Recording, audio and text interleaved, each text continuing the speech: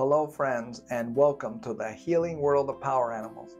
When we observe animals, we can understand ourselves, others, and God better. Today, we'll look at the hyena.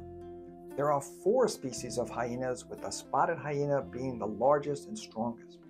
They have sloping backs, long forelegs, powerful jaws, and long ears. The tireless hyena has excellent sight, hearing, and smell. They are proficient hunters of small animals and have a haunting laugh when they find food to share. They're very adaptable and intelligent, capable of surviving in a wide range of habitats. Hyenas are active at night and will eat almost anything, including insects. In short, they're opportunistic survivors. Highly perceptive and territorial, hyenas have many methods of communication, including unique body language. They're very social and live in clans dominated by females.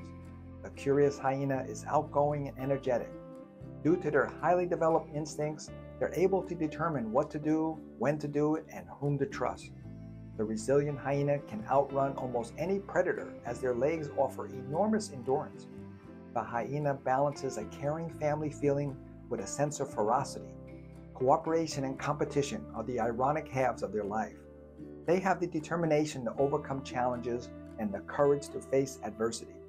The hyena symbolizes cleverness, stamina, and tenacity. They know how to get along with others while not losing their individuality. Call on their spirit when you want to overcome something by laughing at the absurdity of life. Be sure to visit our website to read our blogs and to get a free power animal reading. Thank you for subscribing and have a great day.